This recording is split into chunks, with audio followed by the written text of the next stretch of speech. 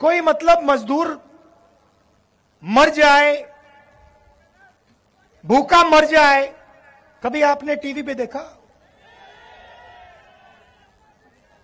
कभी आपने इनके एंकरों को बेरोजगारी के बारे में बोलते हुए देखा? महँगाई के बारे में? किसानों के बारे में? ना। क्योंकि ये ये अच्छा इनकी गलती नहीं है जो बेचारे यहाँ खड़े हैं। इनकी गलती नहीं है, क्योंकि इनका कंट्रोलर ऊपर है। ये ये ये ये बेचारे सैलरी लेते हैं। इनको भी मतलब घर चलाना है तो इनकी गलती नहीं है। हाँ?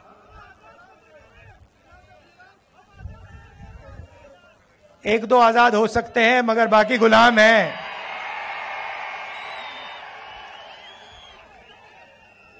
आजकल के हिंदुस्तान में, आजकल के हिंदुस्तान में पता नहीं लगता कौन सा कौन सा मीडिया वाला आज़ाद है, कौन सा गुलाम है। तो ये आपकी बात तो कभी करते नहीं है। तो मैंने एक बात चेक की। मैंने कहा, देखो, देखते हैं। तो ये जो मीडिया कंपनीज़ है ना इनके मालिकों की मैंने लिस्ट निकाली। मैंने कहा, मैं देखता हूँ, ये हैं कौन लोग? उनकी लिस्ट निकाली और इनके जो एंकर्स हैं बड़े बड़े एंकर्स हैं, नाम आप जानते हो, उनकी लिस्ट निकाली। और आप हैरान हो जाओगे, लिस्ट में एक दलित नहीं था एक आदिवासी नहीं था, एक ओबीसी नहीं था, एक गरीब जनरल कास्ट का नहीं था। ये आपके हैं ही नहीं। 90 परसेंट हिंदुस्तान का तो एक भी आदमी नहीं है इनमें।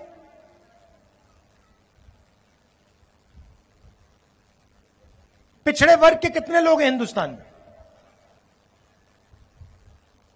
चुप हो गए सब।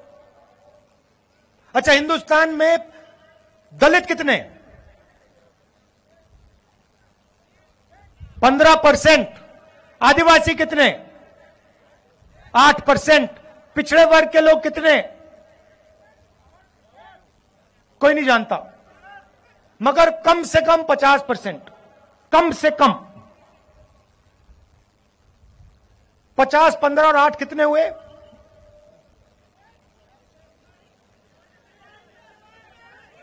तिहत्तर। उसमें पंद्रह परसेंट माइनॉरिटी माइनॉरिटी जोड़ दीजिए और पाँच परसेंट गरीब जनरल कास्ट जोड़ दीजिए। कितने हुए? नाइन्टी प्लस हो गए। नब्बे परसेंट आबादी में से एक आदमी नहीं मिलेगा आपको मीडिया में। एक नहीं है। ये आपके हैं ही नहीं।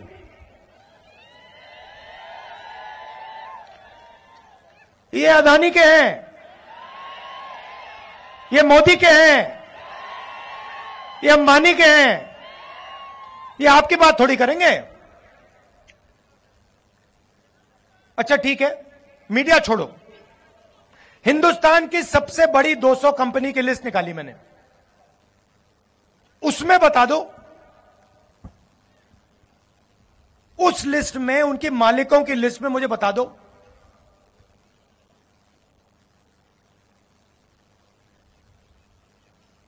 मराठा कितने, धनगर कितने, खटी कितने, यादव कितने बता दो। ज़ीरो। ज़ीरो। पचास परसेंट में से कोई नहीं। पंद्रह परसेंट में से कोई नहीं। आठ परसेंट में से कोई नहीं। नब्बे परसेंट में से कोई नहीं। सारे के सारे सीनियर मैनेजमेंट में कोई नहीं। अच्छा पता नहीं, शायद हिंदुस्तान के 90 प्रतिशत लोग क्या नहीं, हमें मीडिया नहीं चाहिए। हमें हिंदुस्तान का कॉरपोरेट इंडिया में भी भागीदारी नहीं चाहिए। तो ठीक है, फिर सरकार को देखते हैं। हिंदुस्तान की सरकार को 90 लोग चलाते हैं। आईएएस अफसर हैं। बजट को वो बांटते हैं। हर रुपया बजट का कहाँ जाता है? वो निर्णय लेते हैं, नब्बे लोग लेते हैं। महाराष्ट्र में कितना पैसा जाएगा? सड़कों में कितना जाएगा? सेना को कितना मिलेगा? अग्निवीर होगा या नहीं होगा? ये सारे के सारे निर्णय ये नब्बे लोग लेते हैं, मुझे बताओ। नब्बे में से पिछड़े वर्ग के कितने? तीन। दलित कितने? एक। आदिवासी कितने? एक। और अगर आप बात समझना चाहते हो तो अगर हिंदुस्तान की सरकार बजट में सौ रुपए खर्च करती है तो ओबीसी दलित आदिवासी अफसर छह रुपए दस पैसे का निर्णय लेते हैं। आपकी आबादी नब्बे परसेंट। आपकी भागीदारी सौ में से छह रुपए दस पैसा। और फिर नरेंद्र मोदी 24 घंटे घूमता रहता है, कहता है कि मैं ओबीसी हूँ। और मैंने जाति जनगणना की जैसे बात छेड़ी, ये इसको बैठाया गया है।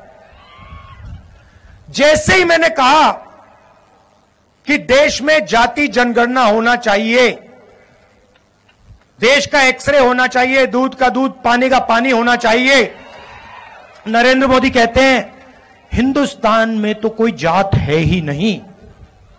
दो ही जात हैं, एक अमीर है और एक गरीब है।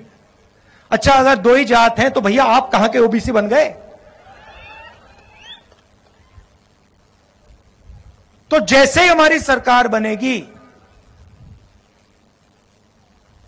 जाति जनगणना हम पूरे देश में करवा देंगे। और इकोनॉमिक सर्वे और संस्थाओं का सर्वे मतलब किसके पास कितना धन है, पिछड़ों के पास कितना धन है पिछड़ों की क्या भागीदारी है? हर वर्ग की आबादी कितनी है, भागीदारी कितनी है? मीडिया में कितने हैं? कॉरपोरेट इंडिया में कितने हैं? प्राइवेट अस्पताल के मालिकों में कितने हैं? यह काम हम करेंगे। अब जैसे ही मैंने ये देश के एक्सरे की बात की वो नरेंद्र मोदी कांपने लग गया। जैसे ही मेरे उसकी आदत है, जैसे उसको डर लगता है ना, वो झूठ बोलना शुरू कर देता है। जैसे ही उसको डर लगता है, वो कभी पाकिस्तान की बात करेगा, कभी चाइना की बात करेगा। तो एक के बाद एक एक के बाद एक एक के बाद एक झूठ बोल रहा है। मगर इस बार नहीं निकल पाएगा।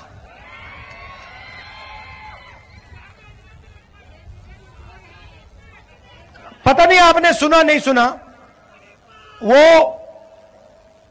एक योजना लाए। इलेक्टोरल बॉन्ड्स वाली। सुनिए आपने? उसमें क्या किया? सबसे पहले कहते हैं कि इलेक्टोरल बॉन्ड से हिंदुस्तान में जो भ्रष्टाचार है, वो खत्म होगा। और फिर क्या किया? कहते हैं कि जो भी पैसा देना चाहता है, किसी भी राजनीतिक पार्टी को, बिना नाम दिखाए पैसा दे सकता है। सुप्रीम कोर्ट ने कहा, भैया, ये तो कानूनी नहीं है, इसको रद्द करो। और सुप्रीम कोर्ट ने उनकी स्कीम को रद्द कर दिया।